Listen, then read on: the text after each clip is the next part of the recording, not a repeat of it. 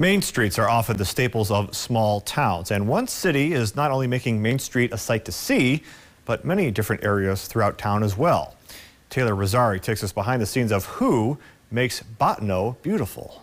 I love our Bottineau community and anything that they want to do to spruce it up and kind of add some of the local artists.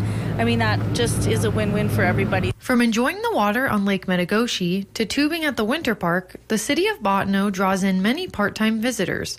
But its full time residents are finding new ways to grab everyone's attention when they drive by through art. We set up that committee, and so every year we've just been doing little things here and there to uh, beautify our town. Little things like transforming an old kiosk into a gazebo and creating two murals, along with other art pieces in areas all over town, even in the trees.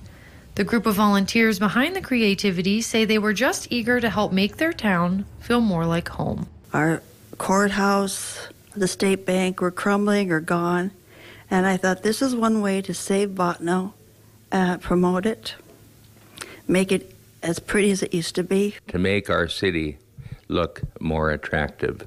When people come up and say, Boy, that sure looks nice, that makes me feel pretty good.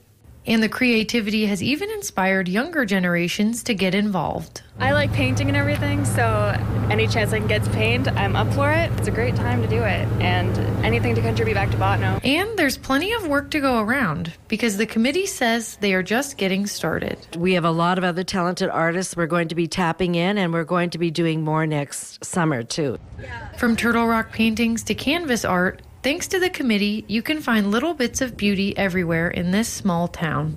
Reporting in Bottineau for KX News, Taylor Rosari. The committee will be searching for new places for two new murals to be created this fall. Stay tuned.